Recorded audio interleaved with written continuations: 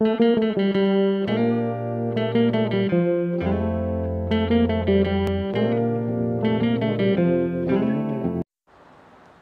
Morning friends कैसे हो आप लोग? Welcome to my YouTube channel आपका मेरे यूट्यूब चैनल पे हार्दिक स्वागत है। कैसे हो आप लोग?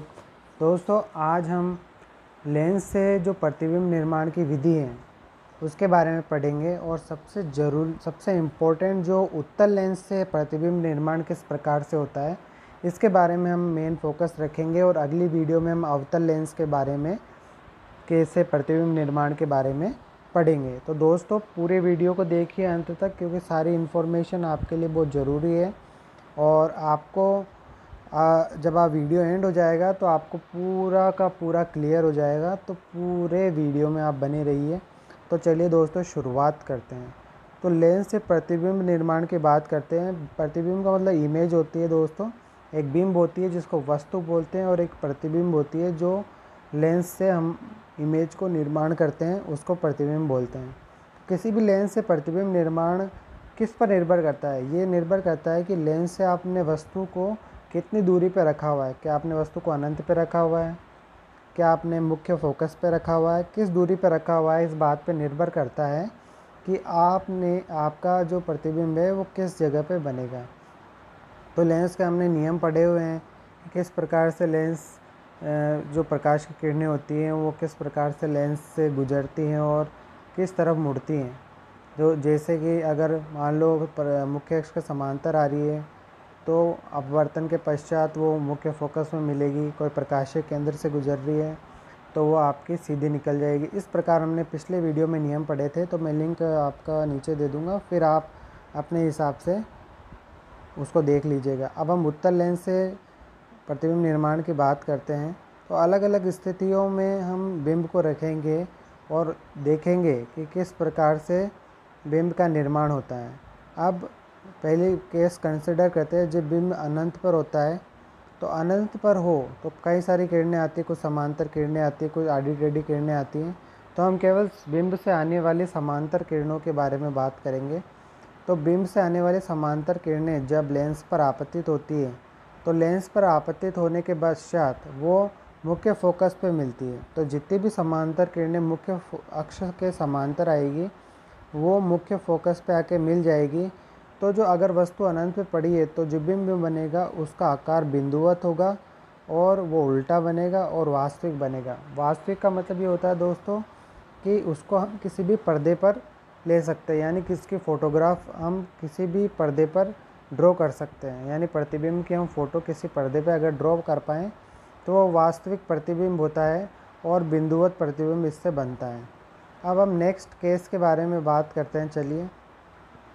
दूसरा केस है कि बिंब जब सीमित दूरी पर हो, यानी अनंत पे नहीं हो, मान लीजिए कि जो बिंब है, वो टू एफ़ वन, जो वक्रता केंद्र होता है लेंस का, उसके और अनंत के बीच में हो। जी हाँ वक्रता केंद्र और अनंत के बीच में हो तो हम दो किरणें लेंगे, एक तो जो मुख्य अक्ष के समांतर आपतित होती है और एक प्रकाशीय केंद्र से गुजरने वाली तो मुख्य अक्ष के समांतर आएगी, वो तो लेंस के दूसरी तरफ़ वाले फोकस से होकर गुजरेगी और जो प्रकाशीय केंद्र से होकर गुजरेगी वो बिना अपवर्तित हुए हुए सीधी निकल जाएगी। तो जो आपका प्रतिबिंब बनेगा, वो F2 और 2F2 के बीच में बनेगा और प्रतिबिंब का जो आकार होगा, वो बिंब के आकार से छोटा होगा और आपका जो प्रतिबिंब बनेगा, वो उल्टा, बिंब बिंब उल्टा बनेगा और वास्तविक बनेगा तो इसका मतलब इसको भी हम पर्दे पे ले सकते हैं। तो इस प्रकार से दो किरणों की सहायता से आसानी से आप प्रतिबिंब निर्माण बना सकते हैं। तो जो यहाँ पे प्रतिबिंब बन रहा है, वो F2 और 2F2 के बीच में बन रहा है। तो यहाँ पे हमने दो किरणें लिए एक तो मुख्य अक्ष के समांतर आपतित हो रही है और दूसरी प्रकाशीय केंद्र से गुजर रही है। तो जो किरण प्रकाशीय केंद्र से होकर गुजर रही है, वो किरण बिना विचलित हुए आगे चली गई, लेकिन जो मुख्य अक्ष के समांतर किरण आपतित हो रही है, वो आप, अपवर्तित होने के पश्चात मुख्य फोकस से होकर गुजर रही है और ये जो दोनों किरणें हैं, ये जब जाके मिलती हैं तो हमने बिंब को जो वस्तु है, उसको ए बी से दर्शाया है और जो प्रतिबिंब, उसको ए डेश बी डेश से दर्शाया है। तो ए डेश बी डेश हम देख पा रहे हैं कि उल्टा है और इसको हम पर्दे पे ले सकते हैं, इसलिए वास्तविक है। तो इस प्रकार से ये F2 और 2 F2 के बीच में बनता है। तो अब चलिए आगे बढ़ते हैं। अब जो हमारे पास तीसरा केस है कि जब बिंब जो है 2F1 पे हो मतलब वक्रता, जो वक्रता केंद्र है लेंस का, उस पर हम रख दें तो क्या होगा?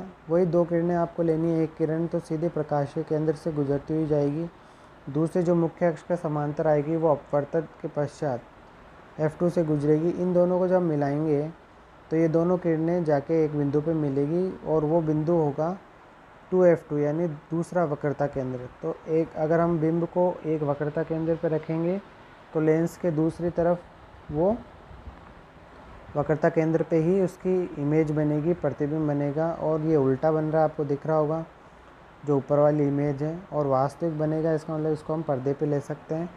तो हम देख रहे हैं कि जैसे जैसे हम लेंस के पास में आ रहे हैं, वैसे वैसे जो प्रतिबिंब है वो लेंस से दूर जाता जा रहा है। और अब हम अगला केस कंसिडर करते हैं, जब बिंब 2f1 और f1 के बीच में होता है।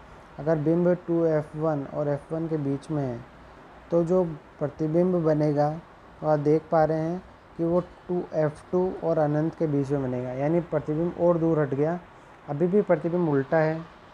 वास्तविक है, इसको हम पर्दे पे ले सकते हैं। और जो प्रतिबिंब बना है, जो ए डैश बी डैश की लंबाई है ए डैश बी डैश की लंबाई, जो बिंब की लंबाई है, जो कि ए बी है, उससे ज़्यादा होगी।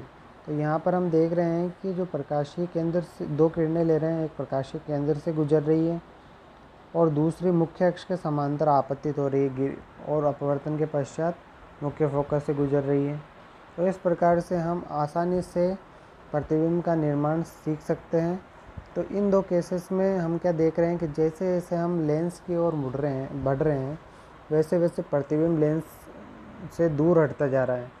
तो एक मुख्य ये बहुत नोट करने लायक है और आसानी से हम प्रतिबिंब निर्माण को सीख सकते हैं। तो ज़्यादातर जो प्रतिबिंब बन रहे हैं, वो हमारे पास में कैसे बन रहे हैं? उल्टे बन रहे हैं और वास्तविक बन रहे हैं। अब बात करते हैं, अगर बिंब मुख्य फोकस पर हैं तो आपके जो प्रतिबिंब बनेगा, वो वास्तविक बनेगा, यानी उसको हम पर्दे पे ले सकते हैं, उल्टा बनेगा और बहुत ही बड़ा बनेगा, क्योंकि ये दो समांतर किरणें हैं, ये अनंत पे जाके मिलेगी, इसलिए बहुत ही बड़ा आपका। अगर हम वस्तु को मुख्य फोकस पर रख दें तो हमारे पास जो इमेज बनेगी, वो बहुत ही बड़ी बनेगी, उल्टी बनेगी और वास्तविक बनेगी। अब अगले, अगला केस कंसिडर करते हैं।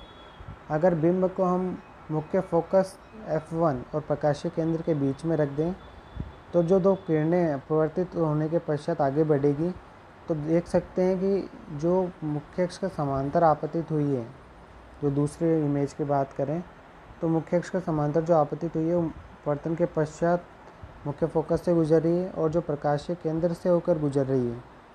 वो दोनों किरणें एक दूसरे से आगे देखिए आप दूरी बढ़ती जा रही है और दूरी बढ़ती जा रही है, इसका मतलब ये कभी कहीं पर भी नहीं मिलेगी तो प्रतिबिंब तो वास्तविक नहीं बनेगा। क्योंकि ये कहीं पर भी नहीं बनेगी तो हम पर्दे पर नहीं ले सकते हैं।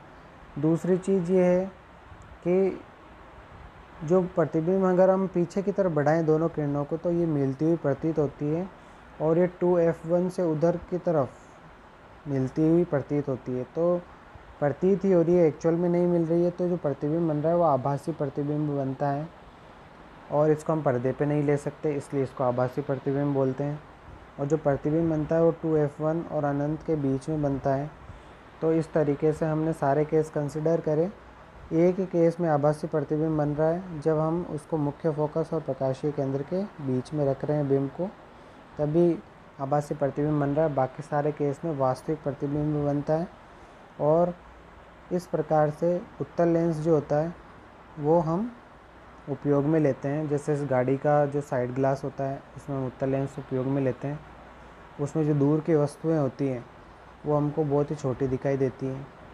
इसी प्रकार से कई सारे चश्मों में भी उत्तर लेंस का प्रयोग होता है। तो ये कई सारे उपयोग है जो प्रैक्टिकल लाइफ में उपयोग आते हैं। तो दोस्तों, ये वीडियो कैसा लगा? अगर आपको पसंद आया हो तो लाइक ज़रूर करें और इस चैनल को सब्सक्राइब करें और बेल आइकन पर क्लिक करें और ज़्यादा से ज़्यादा लोगों को शेयर करें। ताकि ज़्यादा से ज़्यादा लोगों को ये जानकारी मिल सके और आपको बहुत बहुत शुभकामनाएँ कि हम लोग कोशिश कर रहे हैं कि आपको काफ़ी वीडियोस प्रोवाइड करे जाएँ, टाइमली प्रोवाइड करे जाएँ। तो आप अपने कमेंट कमेंट बॉक्स में जाके कमेंट कर सकते हैं, आपको कोई प्रॉब्लम हो तो। तो thank you very much, next video में मिलते हैं।